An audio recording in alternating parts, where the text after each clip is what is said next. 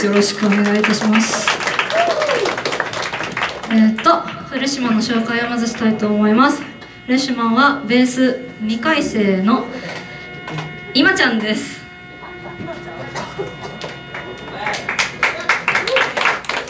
こんにちは。はい。えー、と2回生で、えー、京都で一人暮らしをしています。えー、今中ゆきです。えー、これは詳細というか軽く自己紹介をすると、あの自己紹介終わった。え？えー、京都で一人暮らししてて、えー、とあの週5でバイトをしています。塾講師をしてます。であなんであのなんかほぼ社会人みたいな感じで保険料も自分で払ってるんですよもっともっと湧いてもらって。あ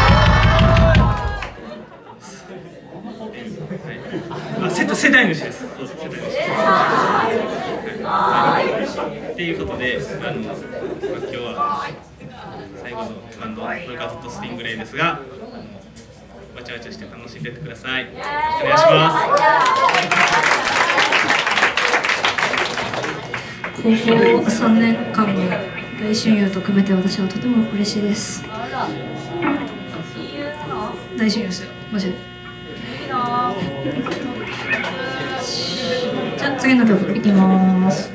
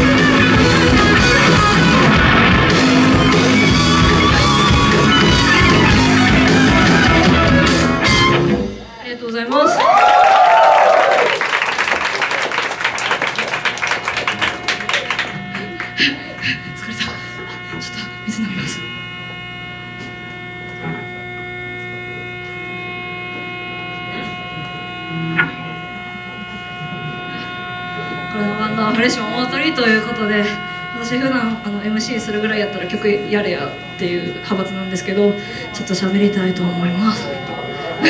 怖いっすよね。私が喋るの下手くそやからこういう姿勢になりましたね。えっとまだフレッシュマンの皆さんスプリングアップに入ってくださってありがとうございます。ありがとうございます。ね。たまにありがとう。1日目2日目もう朝からずーっといてああありがとう朝からずっといて全部のバンド聴いてああフレッシュマンってすごいなんかこんなキラキラしてる人たちがいっぱいなんだって初心を思い出すことができました、ね、このバンドはみんな2回生でなんか勇気も経験者だからねなんか初心者始めっていうか大学から楽器始めたばっかだよっていう人はうわーこんなんなれるかなみたいな思う人もいると思うんですけどその大学から楽器を始めようっていうなんか決意っていうかその大きな一歩踏み出すことってすごいコストのかかることだと思うし何か始めることってすごいしんどいし勇気がいること勇気がいることだと思うんですけど。違う。ちょっと思っちゃったから見ただけ。な。ね。でもその大きな一歩を踏み出してスプリングアップっていうなんかようわからんインカレサークルに入ってくれた。みんなはもう何でもできると思うし。どんな曲だって練習したら絶対にできるようになるし誰でも。組めるようになるし。だからなんか物おじとかせず楽しんで音楽やってくれたらなと思います。スプリングアップは多様性サークルなのでどんな人でもほんまに受け入れてくれると思います。ね多様性多様性って素晴らしいね。ね中学で七穂先輩とか相馬とか颯先輩がおっしゃってましたけど。SU ってみんなの居場所になってくれると思うから。なんかしんどいこととかあったら SU の人に相談してくれたらなと。思います。柄にもなくいっぱい喋ってしまいましたけど。最後の曲でねポルカには珍しくコーレスありますんで。私がせーの言うたら1234って大きい声で言ってくれたらなと思います1234で。ね。もう最後のバンドやしこれ以外に声出すとこないから。ね、ライブ配信に乗るぐらいでっかい声で聞かせてください。よろしくお願いします。プロカットシングルでした。ありがとうございました